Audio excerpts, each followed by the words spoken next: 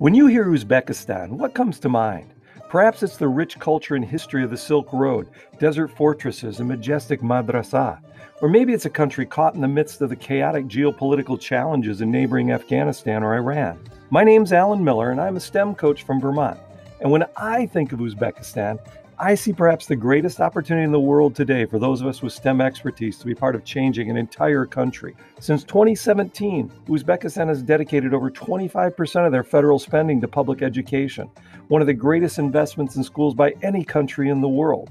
They are focused specifically on STEM education, with a clear goal of countering the radical pull of Islamic fundamentalism that is endemic in the region by moving forward in technology, manufacturing, and infrastructure bringing jobs, opportunities, and prosperity for all, especially their young people. Over the past year, I've been fortunate to be part of two projects in Uzbekistan. The first was a six week Fulbright DAST fellowship working at the Samarkand Institute for Teacher Preparation, spending four to five hours every day with a cohort of teachers selected for their interest in becoming STEM leaders and trainers for their schools.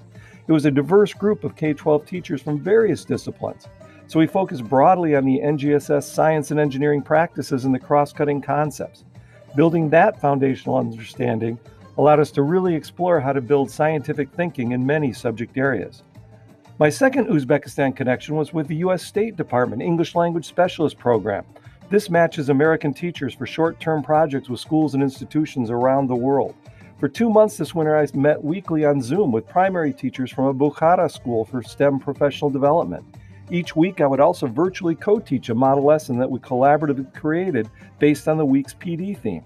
The focus was both STEM and English, and much of the pedagogy grew from NSTA's Picture Perfect Science curriculum, using nonfiction picture books to help primary students engage and explore STEM. I also compiled the PD in an online STEM course in English and Russian available for teachers anywhere at stemforlearning.teachable.com. As I close, I want to do some recruiting. Will you consider joining the STEM reform effort in Uzbekistan? Both Fulbright and the English Language Specialist Program are actively seeking STEM experts today. And with over 3,000 Uzbek schools, my fledgling efforts with 25 trainers in one school is just a drop in the bucket. There's even a third opportunity eight newly opened specialized STEM schools called presidential schools. These are unique public boarding schools, with each drawing the most promising 130 students in grades 5 through 11 from their regions.